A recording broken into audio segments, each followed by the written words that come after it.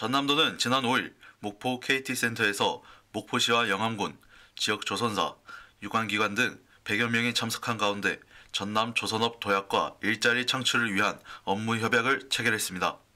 협약에 따라 지자체는 다양한 일자리 지원 사업을 조선업 실정에 맞춰 확대, 발굴, 지원하고 전남 테크노파크와 인력개발원 등 유관기관은 지원 사업을 운영하며 조선사와 협력사는 숙련 인력 확보와 신규 인력 채용을 위해 노력하게 됩니다.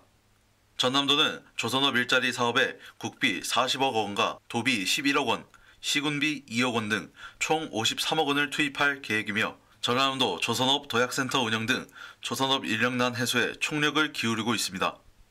사업을 통해 조선업 인력 양성과 지역 정착을 위한 훈련수당, 공제지원, 취업 정착금 등을 지원하며 숙련자 재취업 지원금으로 전문 인력 채용 유도도 함께할 계획이라 구인난을 겪는 조선 산업의 재도약을 위한 마중물이 되어줄 것으로 기대됩니다.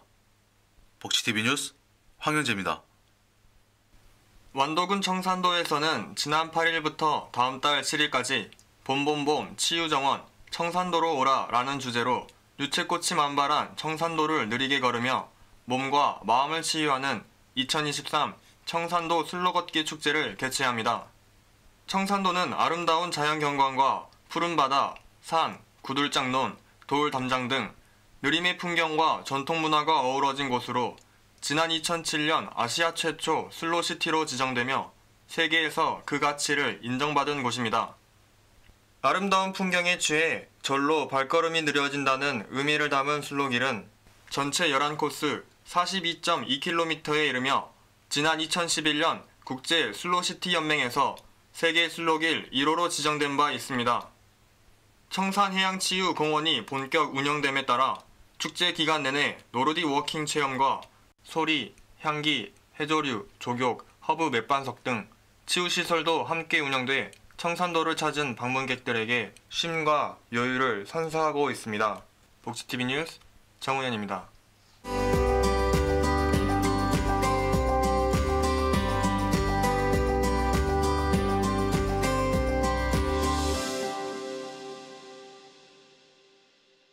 화려하고 다양한 색깔의 꽃들이 화폭 속에 가득 피었습니다. 마치 꽃송이들이 한 곳으로 모여 한아름의 부케처럼 보여지며 신비롭게 느껴집니다. 정원 속에서 꽃을 그리는 민명아 작가의 작품으로 사계절의 정원 느낌을 캔버스에 가득 담습니다.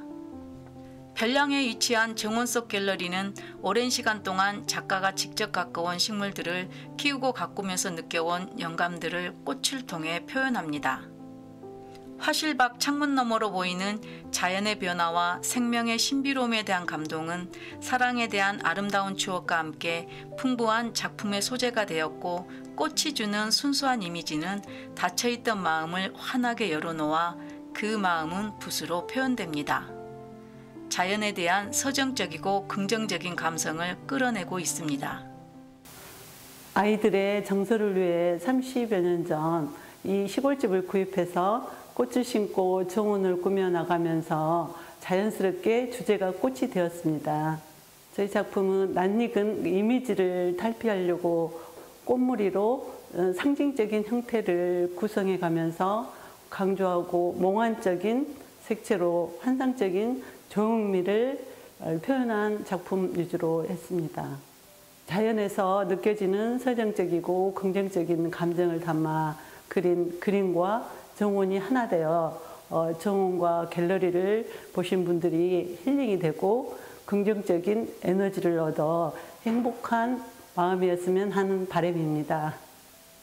작품 속 화면에는 모노톤의 유사한 꽃들이 반복적인 형태로 군집을 이루며 꽃의 다양성을 뺀 보편적인 모양을 한 덩어리로 나타내면서 극적인 절정을 보여줍니다. 민명아 작가는 대한민국 미술대전 심사위원으로 2022년 대한민국 미술인상 정예작가상을 수상한 바 있으며 한국미술협회 회원으로 왕성한 활동을 하고 있습니다. 또한 작가가 28년 동안 갖고 온 정원을 시민들에게 개방해 신비로운 작품을 감상하면서 정원의 아름다움과 여유를 가지도록 하고 정성스럽게 그린 작품들로 힐링의 시각적 공간을 선사하고 있습니다. 오랜 기다림 뒤에 결실을 맺는 열매처럼 화폭 속 만개한 꽃들은 환희의 절정을 보여주고 있으며 작가의 그 행복감은 관람객들에게 고스란히 전해져 향기로운 선물이 되고 있습니다. 복지TV 뉴스 배은합니다.